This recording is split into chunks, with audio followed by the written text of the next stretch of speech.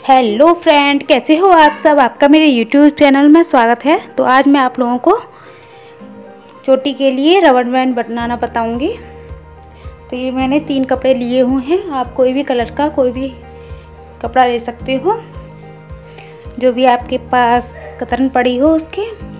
तो ये देखिए, मैं इसमें से छोटे छोटे जो है, पीस कर लूँगी।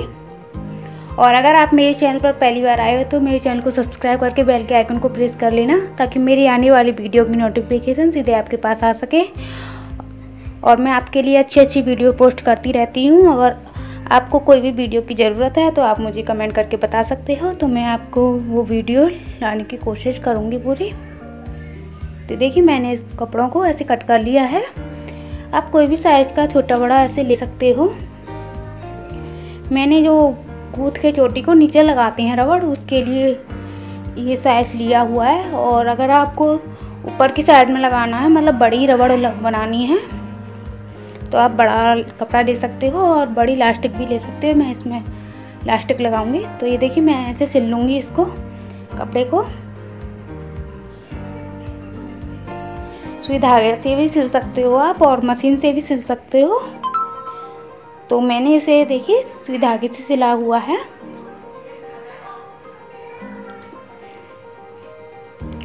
और ये देखिए, ऐसे करके हम सिल देंगे। तो ये हमारा, ये सिल चुका है और मैं इसमें गांठ लगा दूँगी ताकि ये निकले ना धागा।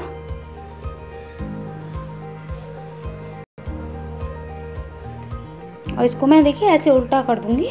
मतलब कि सीधा जो उल्टा है दोनों को ऐसे ही मैं कर लूँगी। तो इस पर मैंने देखिए मशीन से सिलाई लगाई हुई है इन दोनों पर। तो जो एक्स्ट्रा धागा निकला हुआ है, वो मैंने कट कर दिया है इसमें। मैं इनको भी ऐसे ही उल्टा कर मतलब सीधा कर लूँगी दोनों को। तो ये देखिए, मैंने सीधा कर लिया है। ये लास्टिक में डालने के लिए कट करूँगी। जितना भी आपको बड़ा चाहिए, उस हिसाब से आप ले सकते हो। मैंने इतनी छोटी ली हुई है, ज़्यादा बड़ी नहीं बनाई है रबड़ को।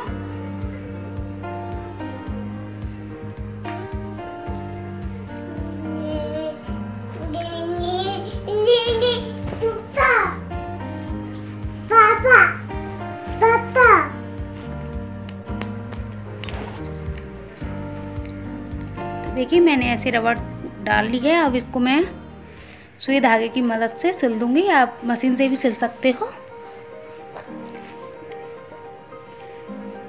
ये देखिए, सुई धागा मैंने ले लिया। पीछे मैं ऐसे गांठ लगा दी है ताकि धागा निकले ना। अब ऐसे इसमें दो चार टांके लगा देंगे ताकि इलास्टिक खुले ना।